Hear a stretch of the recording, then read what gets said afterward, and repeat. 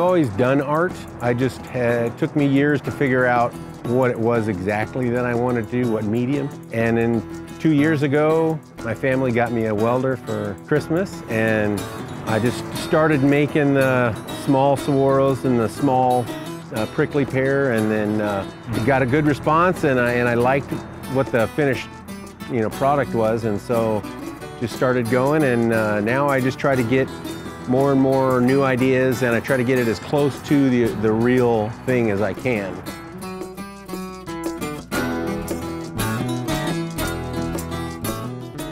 The saguaro is the, the real main thing and that's because it's, you know, it's one of a kind. There's nothing else like it. There's nowhere else you can see it uh, in the Sonoran Desert. And, um, you know, there's, there's no one alike. You know, there's no two alike, I mean. You can have three arms, two arms, you can have 15 arms, you know. You see every one is a little different than the other one.